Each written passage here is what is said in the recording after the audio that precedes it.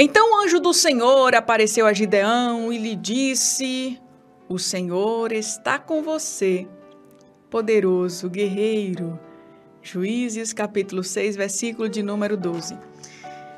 Se possível, nos acompanhe com a palavra de Deus. A gente vai aqui adentrar nessa história de Gideão. Meditamos na segunda-feira, na terça-feira, tem mensagem aqui para quarta, para quinta, para sexta, para o sábado e para o domingo. Mas como eu vou ficar com você até a quinta, a gente vai compactar aqui até amanhã, tá bom? E eu quero você aqui meditando em cada detalhe dessa história. E eu quero você também se esforçando para colocar em prática na sua vida, tá? Quem era Gideão? Gideão era um homem que estava completamente desanimado. Por que Gideão estava desanimado? Porque já fazia sete anos que ele vinha sofrendo ataque dos inimigos. Imagine você construindo sua casa, adquirindo seus bens e sendo saqueados dia, sendo saqueado dia, dia após dia. Imagine você conquistando e o inimigo roubando. Imagine você conquistando e o diabo levando.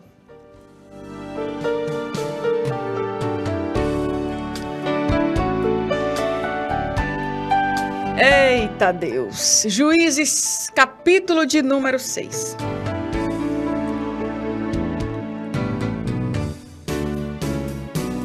Eu imagino um homem agora escondido. E eu quero que você se coloque no lugar dele porque ele tem uma história muito parecida, talvez, com a sua. Nós estamos vivendo num momento onde o Brasil está sendo tomado por uma onda de desânimo, de insegurança, de cansaço mesmo. Não estamos suportando mais. Não estamos suportando mais, e eu não falo, não é um vírus, não. Claro que ele também amedronta, que ele também tira a nossa paz, mas não é apenas o vírus, o vírus. É o desemprego, é a pandemia de doenças emocionais, é, é, é a pandemia de, de, de, de crise econômica. As pessoas estão inseguras também juridicamente, não sabem mais o que é certo, o que é errado, não existe mais hierarquia nas leis, a gente não sabe mais se confia na Constituição, se confia no decreto. É uma agonia. Fora isso, temos também todos os problemas que estão dentro da nossa casa. Problemas com o marido, problemas com os filhos, as mães ficando loucas dentro de casa com esse negócio de aula virtual. Pior ainda, as mães que é, têm seus filhos em escolas públicas que nem isso puderam prover. E todo mundo está cansado, essa é a realidade. Todo mundo está cansado. Mas eu quero falar aqui sobre o desânimo. O desânimo que te paralisa na caminhada. Temos sim muitos motivos, estamos cansados, essa é a verdade. Não podemos esconder. Não podemos ser hipócrita também ao ponto de dizer que não estamos. Estamos cansados. Estamos cansados. Um dia desse eu abri uma live super emocionada e falei tudo que estava no meu coração. Porque eu estava cansada, eu estava esgotada. Eu estava desanimada naquele dia. Mas deixa eu falar uma coisa aqui para você. Você pode ficar desanimado hoje agora. Mas você tem que saber que daqui a pouco você não vai poder continuar desse jeito. Você tem que sempre ter a convicção que daqui a pouquinho você vai tomar um banho de água fria, vai se levantar e vai viver. Aquele dia que você acordar e querer ficar na cama, você vai dizer: Não, eu vou lutar contra isso. Se você vê que aquilo ali prossegue, tem sido algo contínuo, vai procurar uma ajuda médica, faz o que for possível. Mas você não pode ficar desse jeito. E acima de tudo, espiritualmente falando, você precisa estar perto de Deus e contar com a ajuda dele. Você precisa saber quem é o Deus que você serve. É sobre Gideão que eu quero falar e talvez você diga, tá, Gideão era um poderoso guerreiro. Eu vi aí, Clarissa, você lendo a palavra, e eu vi que um anjo chegou perto dele e disse que ele era um poderoso guerreiro. Como é que é isso?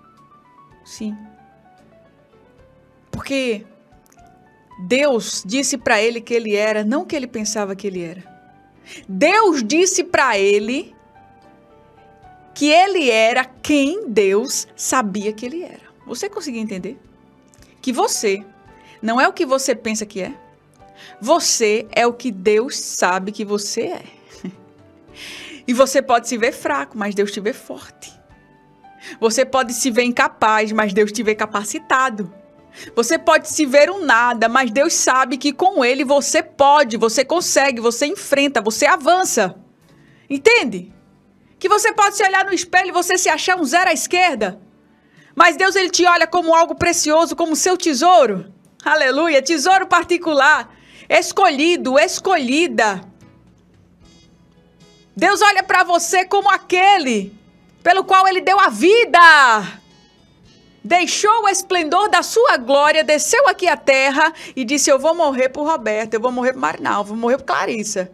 Eu vou morrer por, por, por, por João, eu vou morrer por Paulo, eu vou morrer por ele, por ela. É assim que Deus olha para você.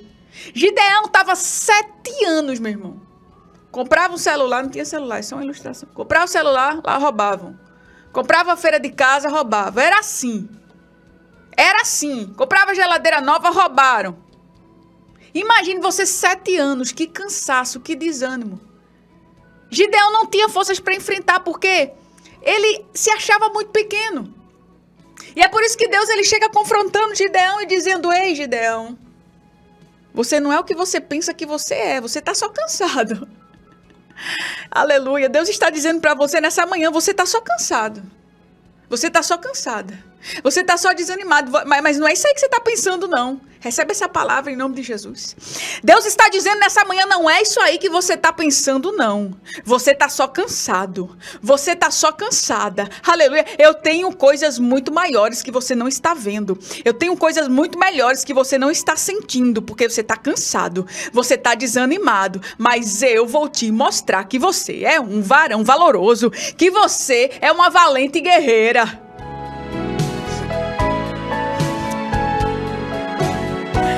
Cansado de lutar. Cansada de lutar, não é assim? Não é assim? Aí o anjo chega ali para Gideão, o anjo do Senhor, e diz assim: Acorda. Como Deus já vem falando com você. Acorda. Você não pode continuar desse jeito. Você é um escolhido. Você tem dúvida que você é um escolhido? Não. Amém. Você é um escolhido. Você não pode continuar dessa forma. Eu quero te usar para derrotar os inimigos. Imagine se agora Deus levanta você, chega até você e diz assim: Filha, eu quero te usar. E você vai chegar lá diante daquele grande e vai dizer isso, aquilo, aquilo, isso não pode continuar assim e as coisas vão começar a mudar. Você diria o quê? Você diria não. Não dá para continuar desse jeito, eu sei. Mas eu não serei capaz de fazer isso. Eu não serei capaz porque eu sou pequenininho. Foi exatamente o que Gideão fez. Foi exatamente o que Gideão fez. Ele deu algumas respostas para Deus, para o anjo naquele momento. Ele disse assim: Olha, eu sou pequenininho. Tá lá em Juízes 6 e 15. Eu sou o menor.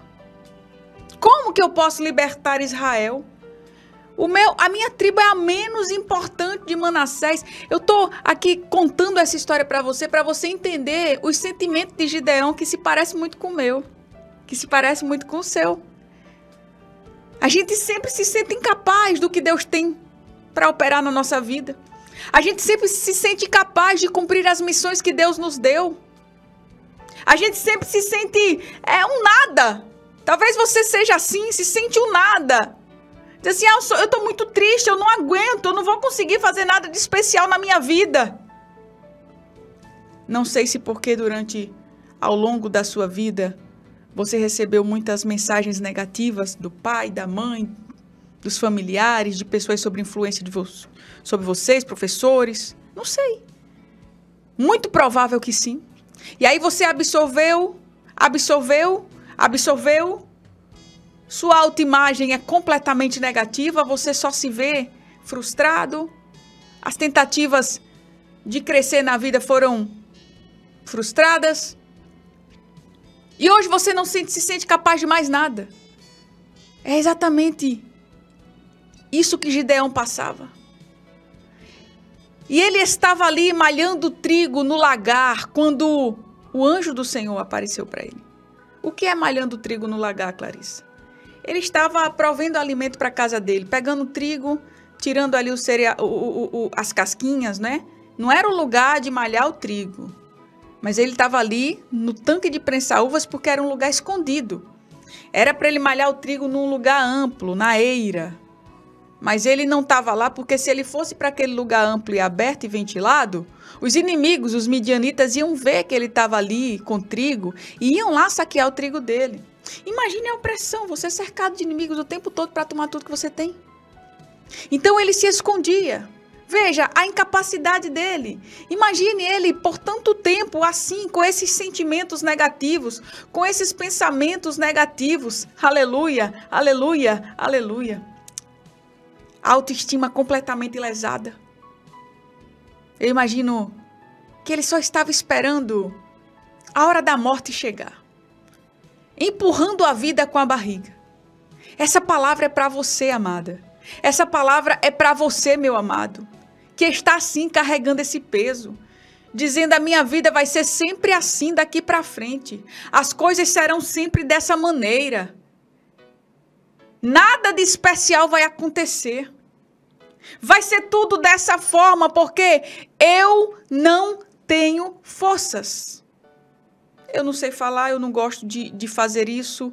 Eu não nasci com esse, com esse talento. Eu não tenho essa habilidade.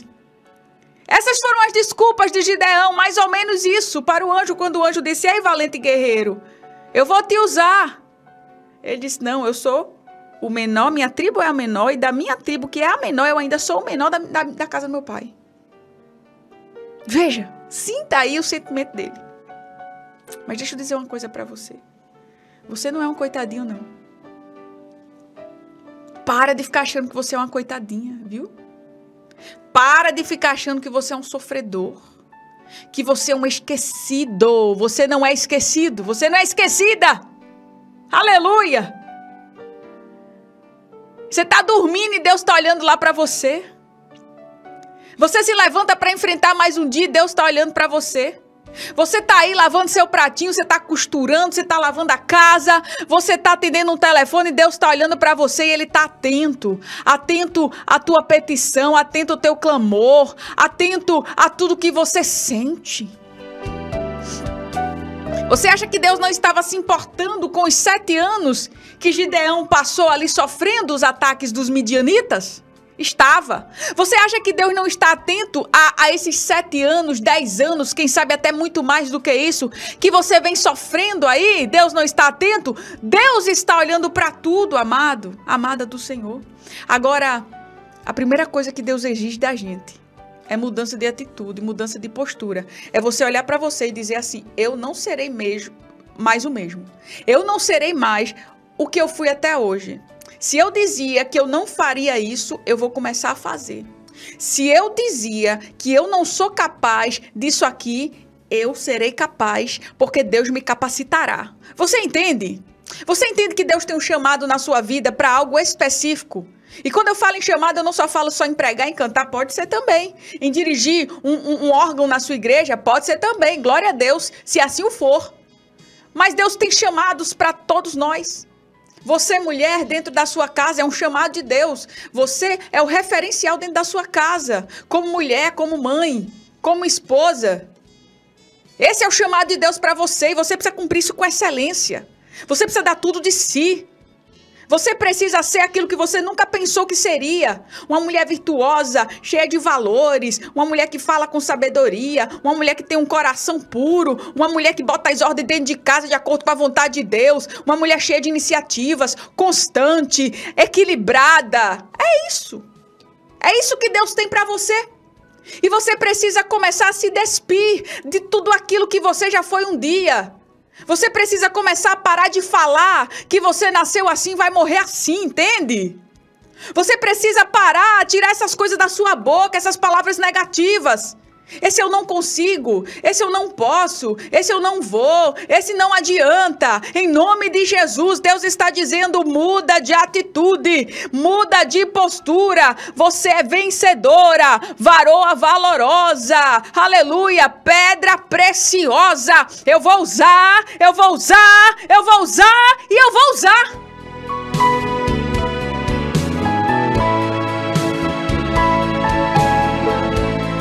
Mão de abraçar o seu chamado. Deixa eu abrir aqui meu coração para você. E deixa eu contar uma experiência pessoal. Já são nove horas, nós vamos orar. Segura só mais um pouquinho. Eu me lembro falando de novas experiências, falando de ser aquilo que nunca fui. Eu me lembro de alguns anos atrás, eu já contei essa história aqui na Rádio Novas de Paz. Eu me lembro de alguns anos atrás, aproximadamente oito anos ou nove, eu não queria conversa, meu irmão, com esse negócio de rádio aqui. Eu tinha pavor desse microfone. Como eu sempre tive. Da escola, eu não apresentava trabalho. Eu reprovava matéria, mas eu não apresentava trabalho. Prova oral, eu travava. Eu tinha sérios problemas. Eu não sei se eu sofri na infância algo, eu não sei se não houve estímulo da parte do, dos meus pais, não sei, tô só. Porque tem vários fatores aí que, que levam com que a gente tenha algumas travas na nossa vida. Não sei. Mas eu era assim. E eu me conformei com aquilo. Eu ficava driblando. Não, não quero falar, não quero. Não, não, não quero participar disso. Não, não gosto, fala você. Eu ia para a rádio com meu pai, mas eu levava o CD com o pastor Técio, botava os CDs lá. Pai, faz uma oração hoje. Não, pai, eu não gosto de microfone, eu não quero microfone, eu não vou falar, eu não sei falar. E era essa repetição a vida inteira. Segura aí que essa palavra é para você. Eu repetia isso o tempo todo, o tempo todo, o tempo todo, o tempo todo.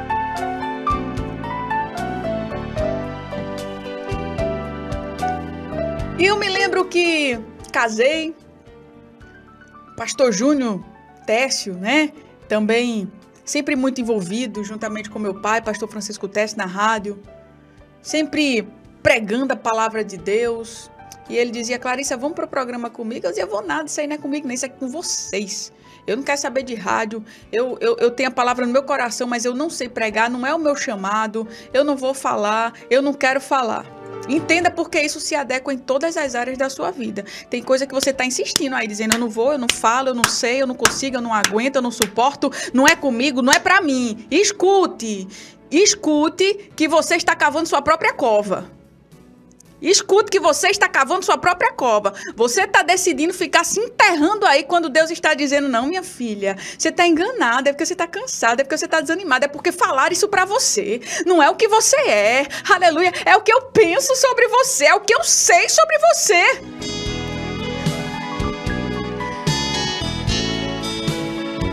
Aleluia. Aleluia. Vamos pro programa, Clarice. Eu dizia, vou não, vou não. Isso aí é pra vocês, não é comigo não. Quero não, Deus me livre, não é pra mim não. Imagine essa vida inteira eu falando isso. E eu me lembro que um dia, o pastor Júnior armou uma emboscada para mim, meu esposo. Uma cilada. Ele fez assim: olha, segunda-feira eu tenho um médico. E você vai fazer o programa. Veja só, não queria nem fazer uma oração. Eu disse: tá brincando. Tem nem graça. Eu ficava logo com raiva. Tem nem graça um negócio desse. Aí ele olhou para mim e fez assim: Que Deus você serve? Que Deus você serve? Como é que a nossa família está completamente envolvida nessa obra e você fica correndo aí de um microfone? Fica com essas justificativas, com essas desculpas. Que Deus você serve? Tu não confia não que quando tu abre a boca Deus vai te encher não?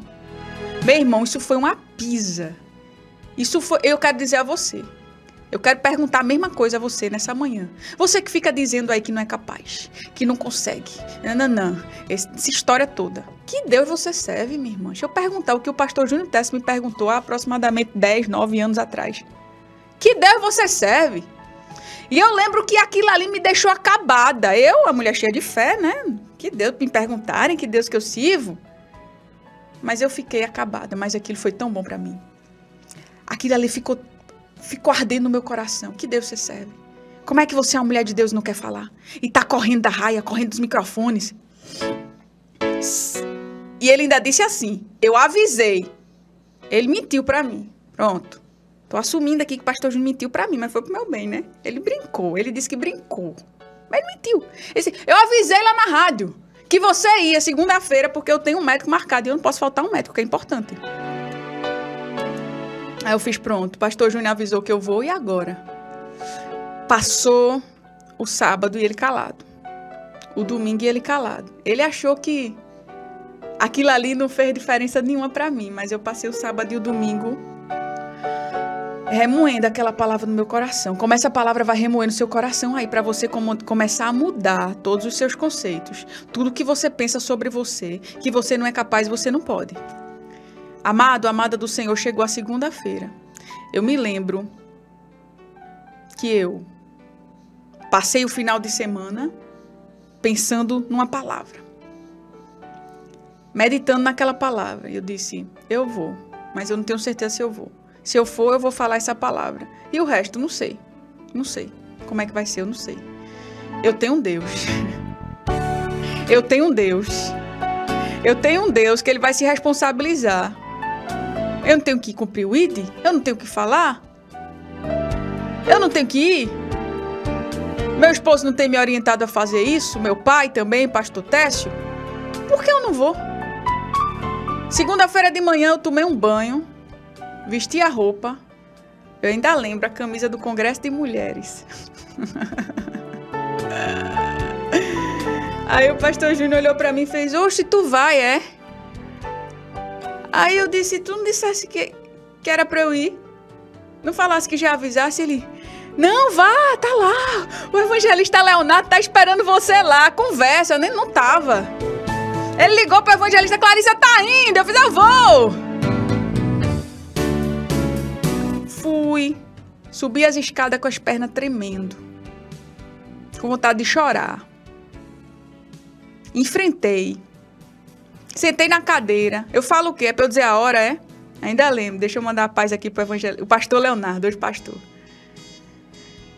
Diz a hora, Clarissa. 8 horas mais 7 minutos na sua Novas de Paz. Eu sou Clarissa Técio. Eu vou ficar com você. Hoje o pastor Júnior Técio não pôde estar no rádio. E daqui a pouco nós vamos pregar a palavra de Deus. E agora? Fala a frequência da rádio, Clarissa. Falo. Essa é a Rádio Novas de Paz. Tarará, tarará, outra frequência. Não. Gaguejava aqui só. Vou. Vai até o fim? Vou. Tu, porém, vai até o fim. Tu, porém, vai até o fim. Amada, amado do Senhor, não é o que você pensa que é, é o que Deus sabe que é.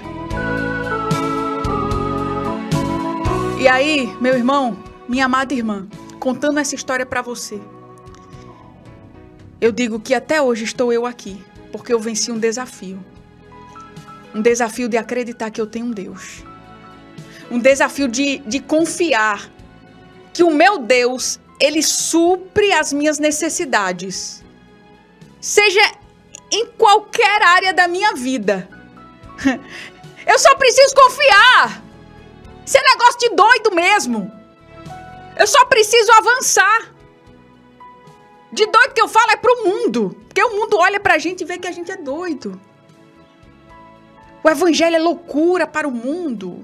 Eu sempre que prego me lembro disso, porque tem coisas que a gente olha assim e diz: Meu Deus, é pra ir? É. É pra avançar? Avança. Mas Deus escolheu as coisas loucas desse mundo para confundir as sábias, e Deus escolheu as coisas fracas deste mundo para confundir as fortes. E Deus escolheu as coisas vis desse mundo e as desprezíveis e as que não são para aniquilar as que são, para que nenhuma carne se glorie perante Ele. Agora imagina se eu sempre tenho uma boa retórica. Imagina se eu falo fluentemente vários idiomas. Imagina se eu sou aquela aluna destaque na sala de aula e agora eu faço rádio. Que nome glorif seria glorificado? Agora, eu contando essa história para você e você sabendo quem eu era, você vai dizer, só pode ser Deus, que ela tá aí todo dia ela fala. Não é você, é Deus. Deixa eu dizer a você, mãe, você vai enfrentar esse problema aí, não é você, é Deus. Não é você, é Deus. Não é você, é Deus. Ei, mulher, não é você, é Deus que vai que vai ajudar você nesse negócio, você vai vencer, é Deus, é Deus, é Deus com você. Lembre-se que Deus está com você. Sabe o que Deus disse ali? O anjo disse a Gideão: Eu estarei com você. Eu quero só que para a gente orar você diga aí: Deus está comigo. Deus está comigo. Deus está comigo. Você percebe as palavras de Deus aqui firmes? Quando essa promessa parecia impossível de ser realizada, o anjo diz: Gideão, eu estarei com você e você derrotará todos os midianitas como se fossem um só homem. Deus está dizendo: esse problema será derrotado. Derrotado! Você vai se erguer e você vai derrotar. Se você acompanhar aqui a história de Deão, você vai perceber que ele realmente conseguiu derrotar os inimigos do povo de Deus. Da mesma forma, Deus irá cumprir todos os propósitos na tua vida. Basta você acreditar, basta você querer. Aleluia, aleluia, aleluia. Amanhã a gente continua. Não desista da batalha, a gente vai falar sobre isso. A vitória de Deão, a tua vitória. Aleluia, aleluia. Mude de atitude. Mude a imagem que você tem sobre você mesmo. Quebre esses negócios. Esquece, esquece isso. Esquece tudo que você pensou sobre você até hoje, o que as pessoas falaram sobre você até hoje. Outra coisa. Aleluia, aleluia, aleluia. Deus está com você. Deus está com você. Você vai vencer esse desânimo em nome de Jesus. Confiando, acreditando. Aleluia, aleluia, aleluia. Deus está comigo.